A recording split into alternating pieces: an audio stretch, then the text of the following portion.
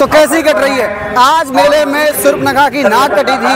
प्रदूषण का बध होने वाला है। लीला चल रही है। हमने सुर्पनखा की जो नाक कटी थी, उसको आपको लाइव दिखाया है। अब आपको बध की लीला क्लिप के माध्यम से ब्लॉग में दिखाएँगे।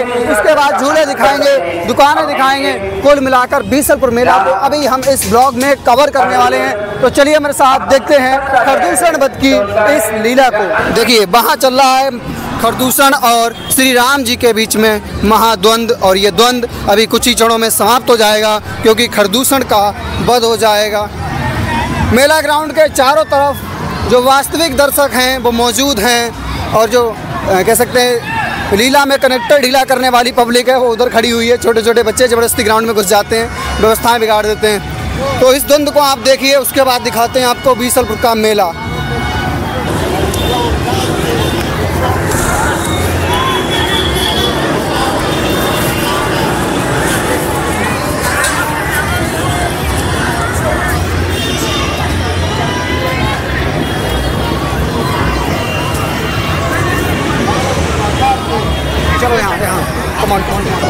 भगवान श्री राम द्वारा अभी तीर मारा जाएगा, उससे खरदूषण मरेगा। लेकिन आप अपनी उंगली मारकर हमारा यूट्यूब चैनल सब्सक्राइब कर सकते हैं। मारिए उस सब्सक्राइब बटन पर अपनी उंगली मारिए।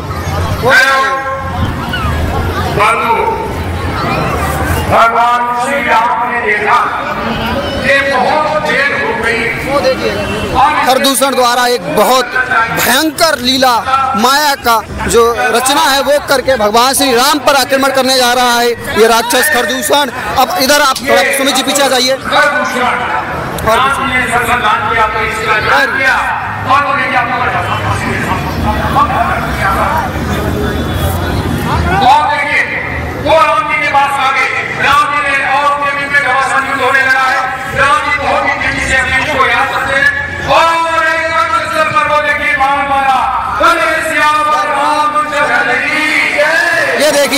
पर खरदूषण का अंत हो चुका है।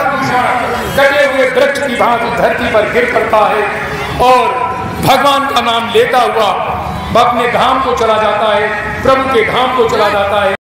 बाकी वो चल देते हैं। चलो रखो। हल्के से। बोले सियावर रामचंद्र सीताहरण एवं जटायु वध की कल लीला इस रामलीला ग्राउंड में संपन्न होगी। आपसे ही सब सीखा है। सब आपका आपसे ही सब सीखा है। वो देखिए पालकी झूला घूम रहा है। हम भी घूमे चल के उधर ही आओ। ये देखिए बच्चों के छोटे छोटे चक्री झूला यहाँ पर चल रहे हैं। और भाई क्या ही व्यू है लाइटिंग के साथ इस मनोरंजन वाले एरिया का। 360 रिंग लाइट भी यहाँ पर लगाई गई हुई है। 360 स्टैंड भी बोल सकते बोलते हैं इसे। इसकी सहायता से आप घूमती हुई रील बना सकते हैं। और ठीक सामने ये हमारे गुरुदेव की सबसे पसंदीदा दुकान। हाँ भाई क्या हो रहा है? और भाई क्या है? चलो आ गया लिए गाड़ी भी इस बार लाई गई है। इससे रिमोट कंट्रोल गाड़ी है इसमें आपका बच्चा बैठकर इसके कार के मज़े ले सकता है। ये देखिए भैया यहाँ से कंट्रोल कर रहे हैं। इसके कंट्रोलर ये हैं। कितना रुपये टिकट है? तीस रुपए। तीस। तीस रुपये पीछे मौत कुआँ चल गया भाई और उसके गाने बजना हो। सकता है कॉपीराइट लग जाए। ये देखिए बच्चों की छोटी ट्रेन चल रही है इधर और इसके ठीक सामने चल रहा है ये बड़ा झूला। ये देखिए यहाँ से ऐसा व्यू आता है इस बवंडर झूले का। चारों तरफ़ तो भाई म्यूज़िक ही म्यूज़िक चल रहा है तो क्या ही आपको बोलकर एक्सप्लेन करो। हो सकता है बाद में वॉइस ओवरलैप करनी पड़े। और ये रहा आपका ऊँचा नाव झूला और इसके ठीक बराबर में लगा हुआ है ये टोरा टोरा झूला। ऑपरेटर वहाँ बैठे हुए हैं। एक म्यूज़िक के साथ।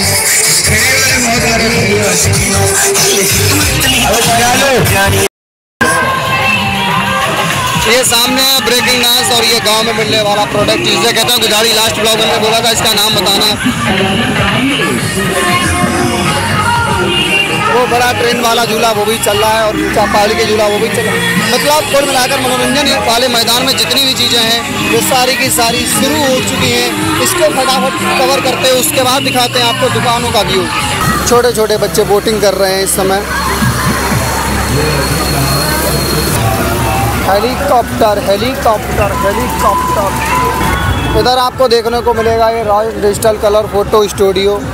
पीछे हमारे लंका जगमगा रही है और ये फास्ट फ़ूड वाली गली और वो पीछे मनोरंजन वाला मैदान। यहाँ से कुछ रौनक, हल्की फीकी भी दिखती है इस मनोरंजन वाले मैदान की, क्योंकि मेन व्यू है वो उस तरफ़ से आता। है हम चलते हैं बिसात खाने वाले एरिया में, दुकानों वाले एरिया में।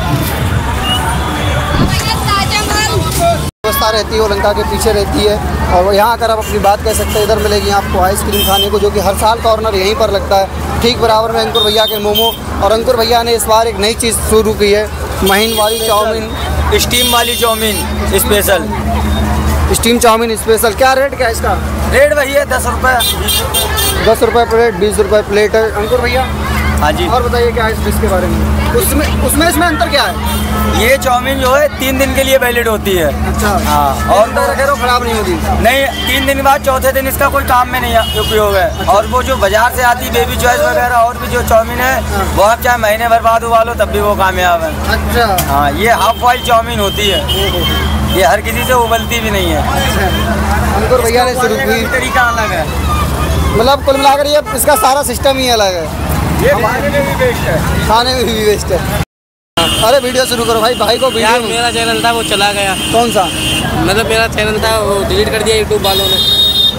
यूट्यूब वालों ने डिलीट क्यों कर दिया? किसी दूसरे का कंटेंट डाल मुझे दो बताया कि उम्र कम है हाँ। आपकी यूट्यूब के हिसाब से बूढ़े नहीं हो। बस। हाँ मुझे किसी और दिन मिलो मैं ज़रूर देखूँगा ठीक है?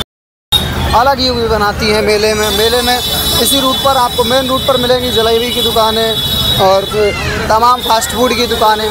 और यहाँ आपको अब मिल जाएगी फ्रूट, आइसक्रीम, कॉफ़ी और पिज़्ज़ा भी शुरू हो गया है इनके यहाँ। और सामने ये धर्मों का रेस्टोरेंट, ये भी शुरू हो गया। हाँ भैया, नमस्कार। हाँ अरे आपका बहुत बहुत धन्यवाद। आप लोग देखते हैं। बिल्कुल आपके क्लिप ज़रूर लेंगे, क्यों नहीं लेंगे? कैसे ब्लॉग में कोई चीज़ ऐसी जिसे सुधार सकते हैं? या कुछ नया ऐड कर सकते हैं?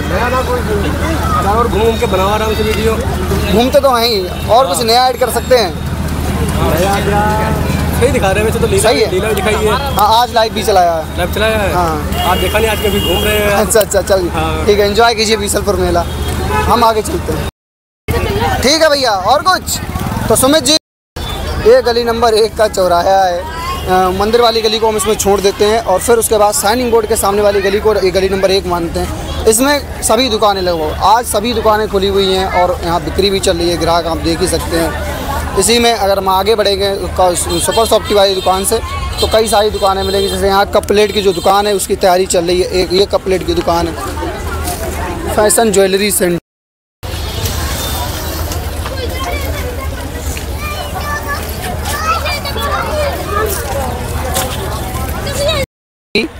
शुरू नहीं की थी वीडियो?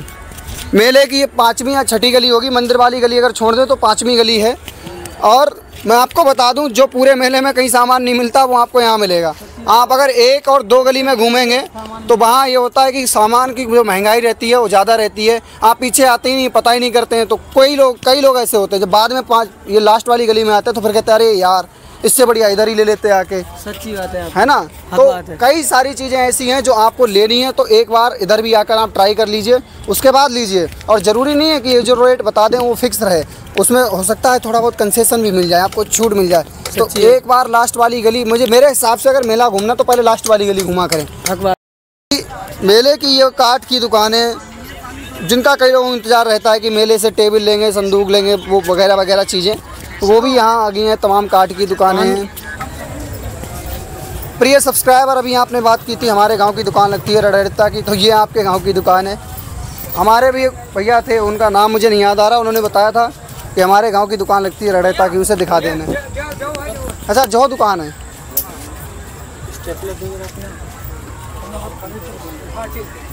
तमाम तो ये स्कीरिंग का प्राइस क्या होगा? सर मेले में बाबा गुलेश्वरनाथ मंदिर के ठीक सामने बाबा के मंदिर के ठीक दाई और आपको मिलेंगी तमाम ये बोरिया बिस्तर रजाई कम्बल दरी चादरें पायदान तमाम चीज़ें की जो दुकानें हैं वो इधर आपको मिल जाएँगी। ये दुकान तो अभी तैयार भी नहीं हुई। इन दुकानों की खास बात यही है मेले में थोड़ा हो सकता है लेट शुरू हो लेकिन अंतिम समय तक चलती रहती हैं। लौट के आएँगे भाई। और अभी भी देखो यहाँ दुकानों की तैयारियाँ वो लगातार जारी हैं। माल लगा हुआ है, नया माल आया हुआ है सिर्फ़ आपके लिए। Haryana handloom product Panipat. अरे बिल्कुल दिखाएँगे। बीसलपुर की स्थायी दुकान इनकी जो है बड़े स्थल के पास में है। मैं हर दिन आ रहा हूँ।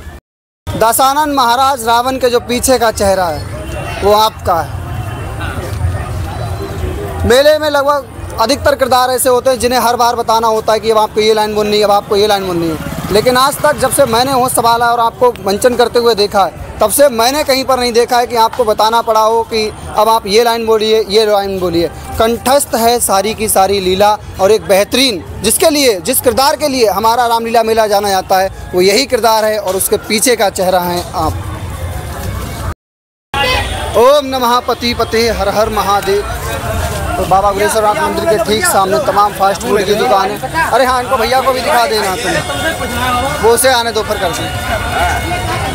ये हमारे व्यूअर्स हैं जो आपको मिल जाते हैं कहीं ना कहीं वीडियो में देखने के लिए। एक भैया उधर खड़े हुए हैं। दुकानें हैं। जिनकी लोकप्रियता सबसे ज़्यादा मानी जाती है। सब लोग कहते हैं बीसलपुर का जो लाल वाला आलू है, वो बहुत बढ़िया होता है। खाने में प्रसिद्ध है बीसलपुर मेले का ये लाल वाला आलू। खाओ खाओ भैया, खाओ। तो आज के ब्लॉग में बस इतना ही। ग्राउंड का दूसरी तरफ़ तमाम पत्थर की दुकानें होती हैं और क्या ही व्यू आ रहा है उस पालकी झूले का यहाँ से। और ये वो तमाम लोग हैं जिनके सहायता से बीसलपुर मेले की रामलीला को संपन्न कराया जाता है। प्रतिदिन लगकर यहाँ मेहनत करते हैं और जो वास्तविकता में आपके समा, समक्ष जो पहुँचती है, चाहे वो लाइव से थ्रू पहुँचे, चाहे ब्लॉग के थ्रू पहुँचे, उन सबके पीछे यही चेहरे हैं, यही संपन्न कराते हैं। इन्हीं की मेहनत से किरदार भले ही अपना जो पात्रता है, उसे निभाते हैं, लेकिन खूब मेहनत करते हैं ये लोग। और ये देखिए, हमारे मेले का रजिस्ट्रेशन से मैं कई बार ऐसा होता है कि कुछ बात कहने को होता हूँ, नहीं कह पाता हूँ, फिर सोचता हूँ कि कह दूँ। और बात वही है कि चैनल सब्सक्राइब करो लेकिन नहीं कहता हूँ। तो आपकी मर्ज़ी, करो या ना करो अनसब्सक्राइब मार दो, फिर उसे सब्सक्राइब कर लो। लाइक करो या डिसलाइक सब आप पे डिपेंड करता है। आज के ब्लॉग में बस इतना ही। मिलते हैं अगले ब्लॉग में। तब तक के लिए जय हिंद, वंदे मातरम, माता जय सलाम, जय शिवाजी, जय कलाम एंड बाय तो कैसी कट रही है? फिर आएँगे इसी जोश के साथ।